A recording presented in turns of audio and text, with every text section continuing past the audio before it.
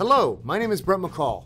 I am the product specialist and technical support specialist at Metra Home Theater Group at Ethereal Home Theater. Today I'm going to cover a topic that a lot of you guys are afraid of, HDCP 2.2. What is it, why is it, and how is it going to affect you? It's really not that bad despite all the bad press that's happening. HDCP 2.2 is effectively in signal strength and how it's carried the same thing as the original HDCP.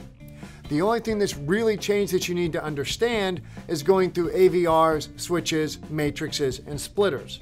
If you're going point to point, switch to display with an extender, an active cable, a balun, doesn't matter as long as it's point to point, the HDCP is invisible to the devices, or better yet, the devices are invisible to HDCP.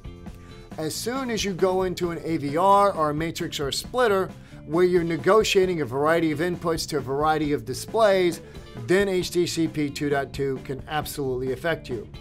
In order to minimize issues, you want to make sure that everything in the stream in those situations is HDCP 2.2 compliant. This means that the AVR, the switch, any matrices, any splitters, and all displays must be HDCP 2.2 compliant. Fortunately, you're only going to see HDCP 2.2 on the new sources that are coming out now that support UHD streaming media or UHD disc-based content. Other than that, I do not think we're going to see it in television broadcast anytime soon.